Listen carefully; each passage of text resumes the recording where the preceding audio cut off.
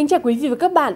Thưa quý vị và các bạn, cách đây 60 năm, ngày 28 tháng 12 năm 1962, Chủ tịch Hồ Chí Minh viết bài Phải thật sự bảo đảm quyền lợi của phụ nữ, đăng báo Nhân dân số 3199. Trong bài, bác khẳng định tính ưu việt của chế độ xã hội chủ nghĩa trong việc đảm bảo quyền lợi thực sự của phụ nữ bằng hiến pháp và luật hôn nhân và gia đình, đồng thời nhấn mạnh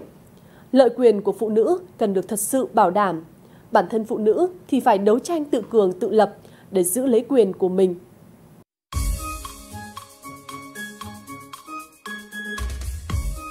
Chủ tịch Hồ Chí Minh luôn đánh giá rất cao vị trí, vai trò và sự đóng góp của phụ nữ trong quá trình phát triển của lịch sử dân tộc Việt Nam. Chính vì vậy, không chỉ khởi xướng con đường giải phóng phụ nữ tại Việt Nam, bác còn thức tỉnh phụ nữ tham gia giải phóng dân tộc, nhân loại và từ đó giải phóng chính mình. Bác cũng là lãnh tụ Việt Nam đầu tiên kêu gọi thực hiện nam nữ bình quyền, coi sự nghiệp giải phóng phụ nữ là một mục tiêu của cách mạng. Bác còn thường xuyên động viên nhắc nhở chị em phải cố gắng vươn lên để tự giải phóng mình.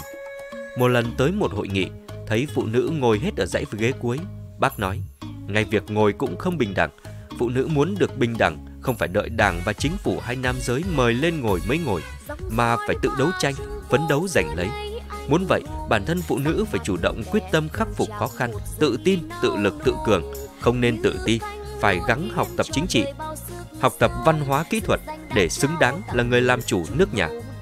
Bác cũng tham gia tích cực vào việc soạn thảo và ban hành luật hôn nhân và gia đình, coi đó là luật giải phóng phụ nữ. Ngay trong di chúc, bác cũng không quên nhắc tới phụ nữ Việt Nam. Đảng và chính phủ cần phải có kế hoạch thiết thực để bồi dưỡng, cất nhắc và giúp đỡ để ngày thêm nhiều phụ nữ phụ trách mọi công việc, kể cả công việc lãnh đạo. Bản thân phụ nữ thì phải cố gắng vươn lên, đó là một cuộc cách mạng đưa đến quyền bình đẳng thật sự cho phụ nữ. Có đảng chỉ đường đã bừng đôi mắt sáng, mơ ước đến biên ta thành chim cất. Thực hiện lời dạy của bác, lớp lớp phụ nữ Việt Nam đã góp phần to lớn vào sự nghiệp cách mạng của Đảng, của dân tộc. Hình ảnh của họ luôn tỏa sáng khi gánh vác và hoàn thành tốt nhiệm vụ của mình ở hậu phương để động viên chồng con ra tiền tuyến, yên tâm đánh giặc.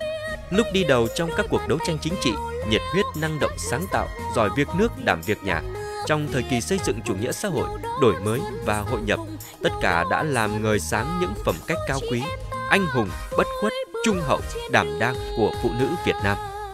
Đảng và nhà nước ta cũng luôn tạo điều kiện cho sự phát triển của phụ nữ. Nhiều văn bản quy phạm pháp luật bảo đảm quyền của phụ nữ được ra đời, trong đó luật bình đẳng giới được Quốc hội thông qua ngày 29 tháng 11 năm 2006 đã tạo hành lang pháp lý cho việc thúc đẩy bình đẳng giới và sự tiến bộ của phụ nữ. Đặc biệt, tại Điều 26 Hiến pháp năm 2013 xác định, nhà nước, xã hội và gia đình tạo điều kiện để phụ nữ phát triển toàn diện, phát huy vai trò của mình trong xã hội. Việc cụ thể hóa quyền bình đẳng nam nữ bằng chủ trương của Đảng, chính sách pháp luật của nhà nước đã tạo điều kiện thuận lợi cho phụ nữ tham gia lao động sản xuất, bảo hộ sức khỏe, giảm nhẹ gánh nặng gia đình. Trong nghị quyết về chiến lược quốc gia về bình đẳng giới giai đoạn 2021-2030, chính phủ xác định mục tiêu cụ thể trong cơ quan quản lý nhà nước, chính quyền địa phương các cấp đến năm 2025 đạt 60% lãnh đạo chủ chốt là nữ. Trong lĩnh vực kinh tế, lao động tăng tỷ lệ lao động nữ làm công hưởng lương lên 50% vào năm 2025 và khoảng 60% vào năm 2030. Đây chính là sự tiếp nối phát triển quan điểm của Chủ tịch Hồ Chí Minh về vai trò của phụ nữ và công tác phụ nữ, đồng thời cũng khẳng định sự quan tâm, trách nhiệm cũng như những nhiệm vụ mà Đảng, Nhà nước đặt ra để giải quyết các vấn đề về công tác phụ nữ trong giai đoạn hiện nay.